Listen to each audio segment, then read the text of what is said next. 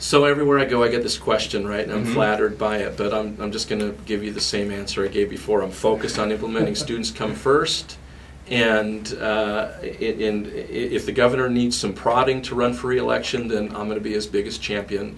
And, uh, and, and whether it's in public or behind closed doors, I'll be encouraging him to run again. So that we, because it's important for both of us to, to finish. You don't get this kind of reform done without a governor that's willing to lead the charge and then stick with it and, and get the, get the, uh, the water to the end of the row, if you will. And I think Governor Otter's committed to that. And he's given me no indication that he does not plan on running for reelection. So I, I just think it's premature and, and really not appropriate for me to talk about what what I would do if he didn't run. What I know what I'm going to do if he does run, Mhm. and I'm going to run for reelection also.